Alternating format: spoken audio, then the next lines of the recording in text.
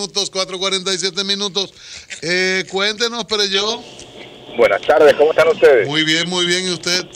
Yo por aquí un poquito húmedo, pero bueno, eso es la vaguada y esas cosas que está cayendo. ¿Húmedo o mojado, pero yo? Eh, mojado debería ser el término correcto. Gracias por corregirme, pero el pasa es que la camisa está húmeda cuando la toqué ahora. Pero bueno, todo anda, bien. diablo, no siga entrando en detalles. mojada. Cuéntanos, pero yo, de las Mira. finanzas personales. Bueno, este, mira, una cosa interesante es eh, y que me alguien que me escribió a Perello César arroba hotmail.com o eh, no fue por Twitter, pero el Twitter es Perello C. En este caso me preguntaba que cuál era la factibilidad de estos préstamos fáciles que están ofreciendo.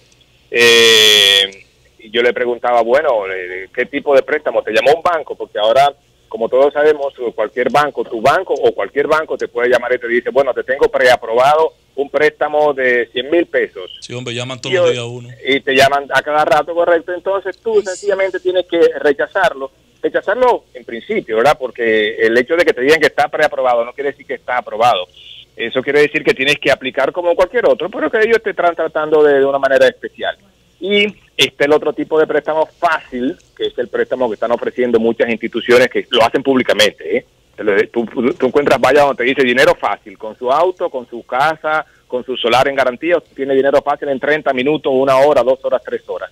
Estas instituciones que no necesariamente, y que yo sepa, ninguna de ellas es un banco comercial, ninguna institución registrada ni su- supervisada por la superintendencia de bancos, este, prestan, pero los términos en que prestan, por la que prestan, por la falta de supervisión a veces no están muy claros. Si me explico, usted puede estar firmando un préstamo que no es sobre saldo insoluto.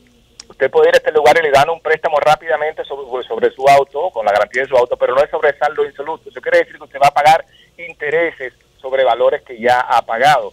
Más aún, usted puede estar firmando una sentencia contra usted mismo, que lo más seguro que es así, en caso de que hipoteque su casa. Por eso en, en- en algunos casos yo le he recomendado, mira, mejor vende tu casa y no te metas en estos préstamos fáciles de hipotecándolo, porque no es lo mismo hipotecar tu casa con una institución financiera, ya sea una asociación de ahorro y préstamo o un banco, que hacerlo con esta gente. Esta gente no necesariamente tiene buena fe y acuérdense, no están necesariamente regulados, por lo cual pueden hacer cualquier cosa. Y después que usted firmó, déjeme decirle, no hay quien lo salve. Por eso a mi amigo le decía, préstamo fácil, yo recuerde siempre que yo eh, me voy por lo, por lo que dice el campesino. Lo mucho hasta Dios lo ve. Y cuando me ofrecen cosas que tienen que ver con dinero muy fácil, este, yo siempre, mi primera instancia es dudar. Así, que ante préstamos fáciles, duden y siempre lean lo que están firmando. La primera, no, no se metan en eso, pero en todo caso, lean lo que están firmando. Bueno, o Eso sea, sí es verdad. tú sabes que el dominicano es, es préstamo, he dado, dale. Exactamente. Entonces, es. Le llega una, dale. Tú sabes, Pero no- eh, pero yo, si, si puedes en algún momento poner en tu agenda eh, esta experiencia que se está viviendo en el país, de gente que forma una financiera al margen de la ley, sin la inspección ni la autorización de los organismos fundamentales, pero uno puede prestar dinero, pero no recaudar dinero para negociar con él. hay una hay hay ciertas eh, restricciones que aplican y hay ciertas eh, peri- lugares por donde la ley legalmente tú te puedes ir a prestar ese tipo de cosas. Ahora, yo le recomiendo a cualquier persona que vaya a tomar un préstamo que vaya a una institución financiera. Por, para empezar, por el hecho de que tienen que calculártelo sobre saldo insoluto. Y a partir de ahí hay un millón de cosas más que son preferibles hacerlo con este tipo de personas. Ok. Bueno, vamos a la llamada, pero yo. Adelante. Com- com- comunícate 809-334-5100 1-809-280-47 desde el interior sin cargos 1-866-476-1116 desde los Estados Unidos Sol, Sol, la más interactiva Buenas tardes, preguntas a Pereyó, 4.51 minutos. Diga usted. Terminando con esa partecita que Pereyó mencionó ahí, sobre el saldo absoluto. Hay entidades bancarias que aplican penalidad por saldo eh, anticipado. ¿A qué se debe eso? Si son bancos.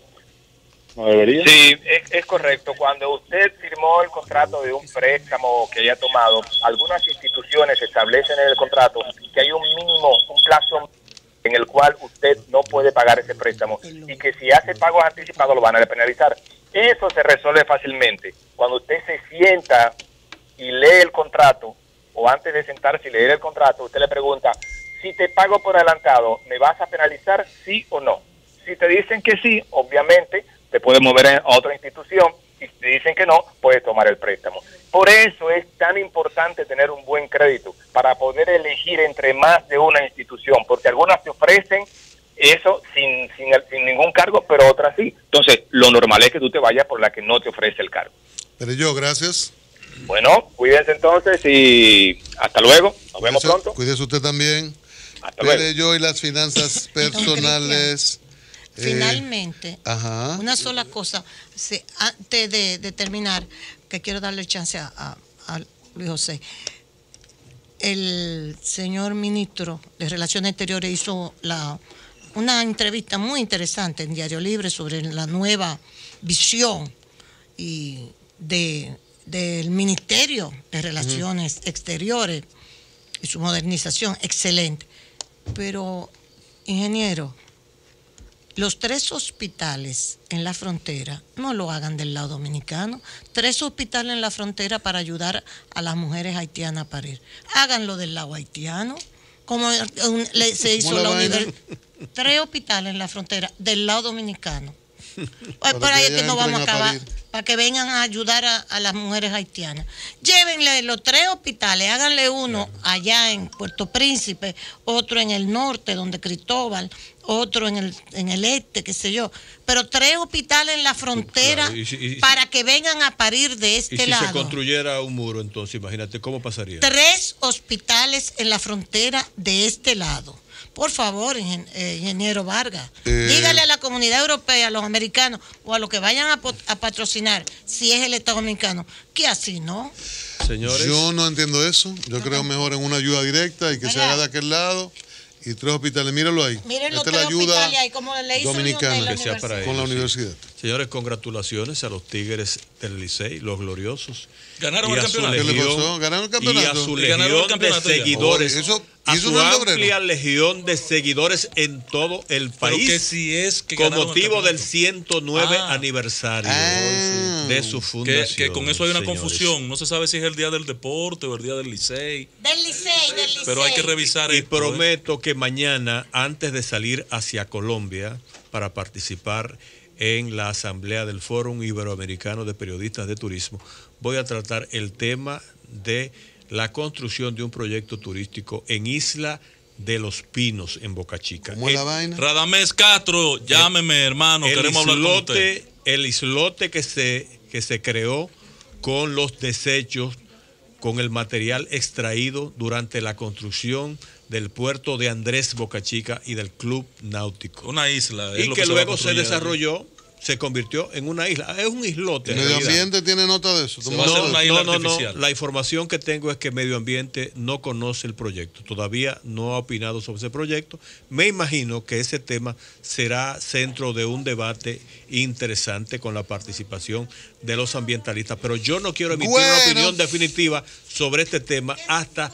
manejar más informaciones y saber qué piensa Pero la gente reúnete con el alcalde Radamés Castro alcalde extraordinario. Su primero 100 días ha demostrado calidad y condiciones extraordinarias. Yo, no, yo tengo una muy vieja relación y buena relación con Radames Castro. Acuérdate que accesible, compañero de, vida política durante mucho tiempo. En lo que ustedes se reúnen con, con Radamés Castro, Castro alcalde de Boca Chica. vamos a convocarlo a que ustedes se queden con Ochi, que nos oyen.